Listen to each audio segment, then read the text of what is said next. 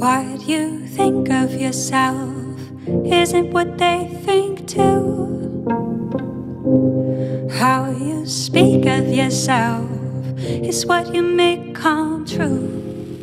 So take your little ideas, make them a little bit stronger. Throw out the ones you can't.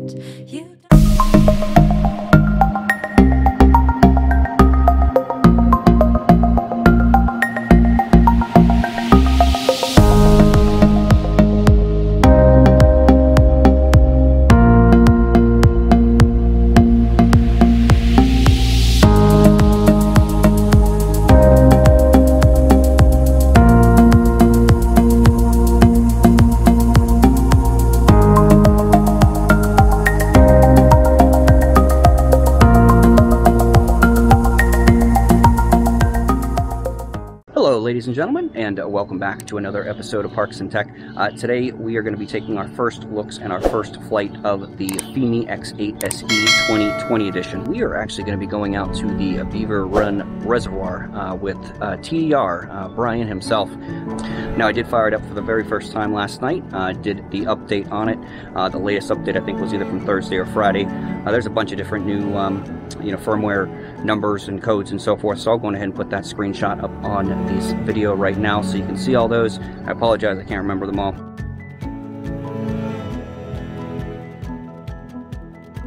One thing I did notice straight out of the box was that my transmitter was not bound to uh, the quad. So when I went to turn everything on, it just showed that it was disconnected and that it would not connect. Um, so I did have to go on ahead and bind that. How you do that is make sure the quad and the transmitter are both on. Uh, once they have fully started up, uh, hold that power button down on the transmitter until it starts beeping rapidly. At that point, there's that little flap where you put the SD card in. There is a button that is right next to that SD card slot. Go on ahead and push that button in. You have to hold it for a couple seconds. You'll see the back white light of the FIMI actually go off. Uh, and at that point, then just let it sit until it binds. But that's uh, that's actually how you go ahead and bind that. So if you do run into that problem straight out of the box, it won't connect. Make sure you bind that transmitter, and then everything seemed to work okay. At least so I thought. This is my uh, my first flight, my first experience with the FIMI X8 SE 2020. Uh, I am going to go ahead and skip the unboxing. There really isn't anything else inside the box worth noting. Uh, it's the exact same box, it just says 2020 on it. They changed a couple of the specs, and they don't really give you anything else inside of the box other than uh, the you know the transmitter, the connection cables, the uh, quad itself, your battery, and uh, your charging brick and so forth.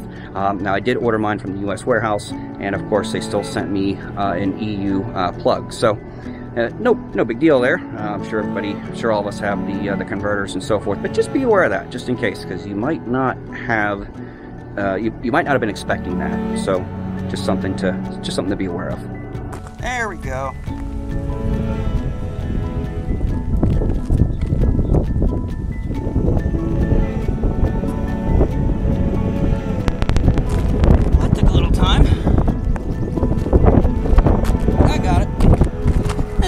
While.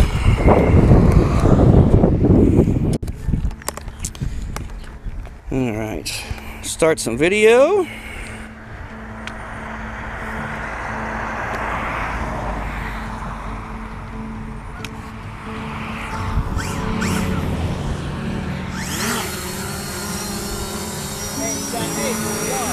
Yeah. What it? Oh, I see that. They're always separate. Go figure, huh? These are mean. Oh, I know. I can imagine.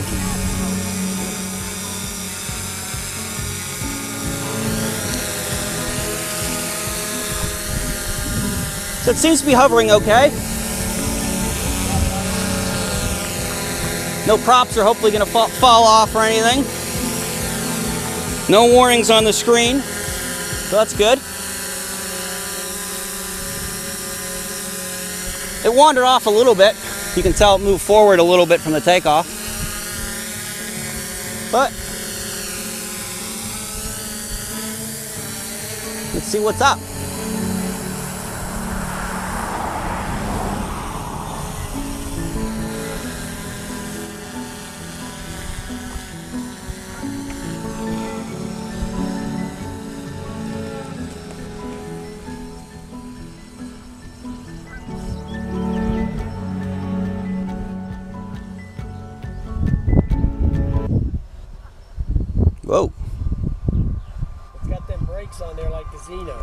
Yeah, it's got some air air brakes for sure. Yeah. And why isn't it?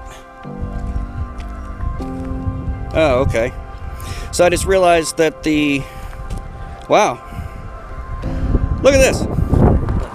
So see where I'm facing? Yeah. Here we go. You ready? Left left stick.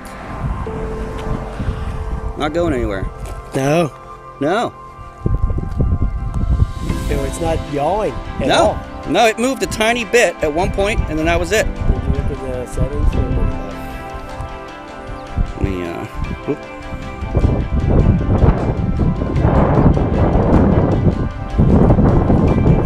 It sure did.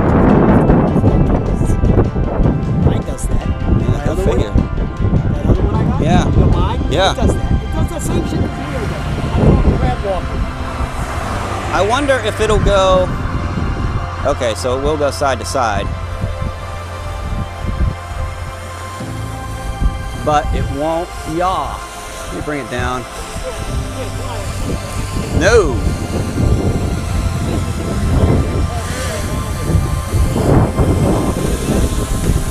Uh, we can if you want. I, uh. So hang on, now that we're real close, let me just make sure it's no kind of weird interference. Right. Yeah, see? Full, full stick left. It's turn, it's trying a little bit, Yeah. but it won't kick it. Right. And right, it, it just wobbles. Right. You guys can see. So, but I can, Now, you never flown this? nope. This is the very first flight, it just came in yesterday. You can see it's really bobbing around. That's me moving now. This is not like the original FIMI. You know, Chris Chris said that his his controller was broken right out of the box too. I don't know if you saw that video. Yeah. Oh, now it's turning.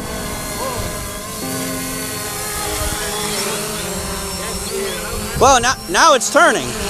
Yawning, on. Oh yeah, I see that. Yeah. All right, ladies and gentlemen. Uh, so we are now out here in my backyard. Um, Brian and I were kind of talking this over. Um, this was straight out of the box, so you know, unfortunately, these types of things do happen uh, from time to time. So we'll just have to kind of play it by ear here. But uh, I am going to hover, just like I said, about a foot or two off the ground, and uh, just kind of let it kind of dra- drain down this battery a little bit and kind of see what happens. Just go for a lift off. Gonna move it away from my camera a little bit, just in case it does decide to fall. Lower to here. So up and down works just fine. I'm gonna go on ahead and try to go to the left here. And it actually is working now. As you can see, uh, you know, from the end of the video when I was out at the Beaver Run Reservoir, it uh, it also was working towards the end there a little bit. So that was to the left. Let's yaw to the right, and it doesn't want to yaw to the right right now. As you can see, stick over, not turning, yawing rather. Let's try to the left again. To the left tends to work okay. It's a little gust of breeze here, but nothing, uh, nothing too serious.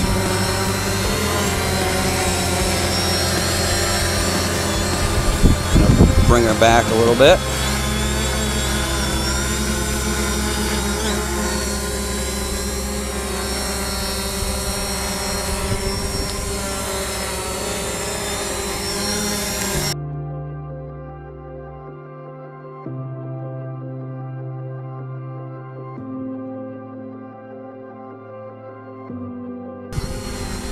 To the left. Nothing. To the right. Again, still nothing. Nope, it's trying.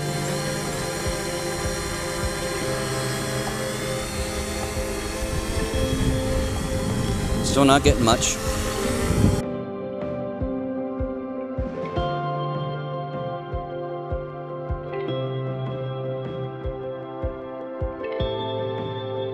Okay, guys and girls, so you can see that I am now right next to the uh, the quadcopter. I got it all bound up with the original transmitter, and um, it, uh, as of right now, it's fumbling around with some GPS. Uh, the transmitter signal is extremely low, so this might not work. I tested it inside the house a little bit to see if it would, um, you know, to see if it would move the move the gimbal. Um, of course, I am getting the video transmission, but I am not getting the uh, controls. Yeah, I can't. I'll try to try it out here, but going to be able to move the gimbal at all. So here it is. See on the screen recording. And I'm not, fortunately, getting any movement here. Here, I'm doing that on purpose so you guys can hear that I'm So right now it is currently in um, ATTI mode because it's struggling getting uh, some some GPS here. So it doesn't look like that you are able to use the original uh, FIMI controller.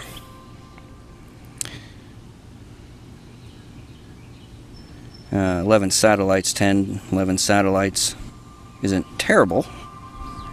But uh, so the video transmission strong, but it is the signal coming from this transmitter to the quad that it is not wanting to to do anything. I'm just going to see if I can start the motors with it, because really I don't want to go very far. I just want to see if it will yaw correctly.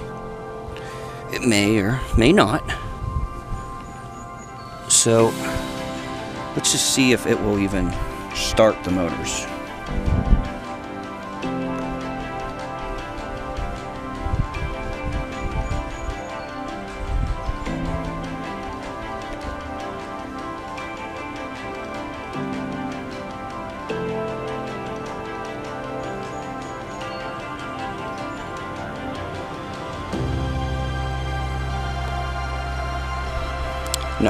So it won't even start the motors. So now this is using the FIMI uh, 2020 app. So I'm going to go ahead and switch apps and go into the original FIMI app and maybe, who knows, maybe that has something to do with it or maybe it'll work then. So this is the regular FIMI uh, Navi app. If I go on ahead and do enter device, just goes a black, disconnected of course, and then it force closes the app. So it does not look like I'm going to be able to test this and see if the original transmitter um, works with the FIMI 2020. Um, clearly doesn't. So that's okay. It is uh, it is what it is. Uh, it was just a just a thought to see if it would work. Um, so unfortunately, I can't test to see if it is the problem with uh, the transmitter uh, or if it is indeed a problem with the quad. Um, although it does still seem to work from time to time, so I guess we uh, we shall see. There you have it, folks. Uh, that was my first flight and my first looks of the FIMI X8 SE 2020. Uh, until I figure out exactly what the issue is uh, on my, my quad, I am not going to be really doing anything else with it. Um, I will be posting and giving you guys updates and so forth, um, but if I cannot yaw or if it's going to do it sporadically here and there, then, well, it's just not worth flying at this point. So, uh, so hopefully this issue does not happen to you. Uh, I know a couple other people that have theirs and they have not experienced this issue. Uh, I know that Chris, the QC guy, his transmitter came in broken. Um, and I believe, if I remember correctly, it was also the left stick, which is also the one that I'm having problems with. So, who knows? If worse comes to worse, I'll uh, take it apart and see see what's going on under there. So, but uh, but anyhow, I really do appreciate you guys taking the time to watch this video. Uh, make sure you hit that thumbs up button if you found any of this content useful. Uh, be sure to also hit that subscribe button and hit that bell uh, so that you can be notified of any new content that I will be posting here soon. Uh, also, hopefully, from the FIMI X8 SE 2020, the, uh, the Zino 2, and of course the Mavic Air 2 as well, and PowerEgg X. Can't forget about that bad boy. So, anyhow, really appreciate you guys taking the time to watch this video. Have a great day.